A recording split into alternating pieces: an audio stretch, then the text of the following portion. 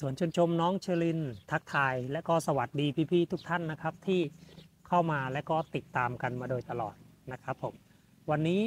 มีคำถามอีกเช่นเดิมนะครับ เกี่ยวกับการนั่งแท่นชวนชมนะครับว่า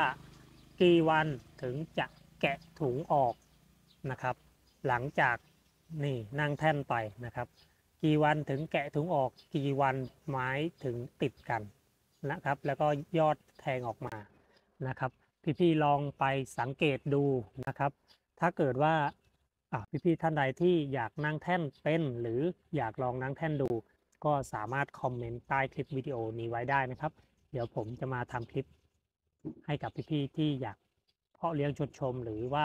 อยากได้ชนชมไม้สีดอกสวยๆเอาไว้ดูที่บ้านหรือไว้ประดับบ้านเป็นของฝันของฝากให้กับเพื่อนๆได้เช่นกันนะครับ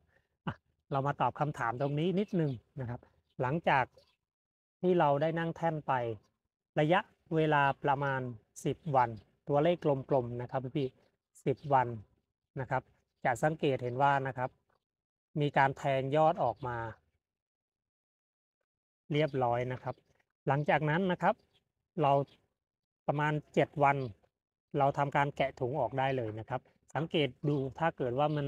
ดูดกันแล้วหรือว่ามันติดกันแล้ว ก็สามารถแกะถุงออกได้เลย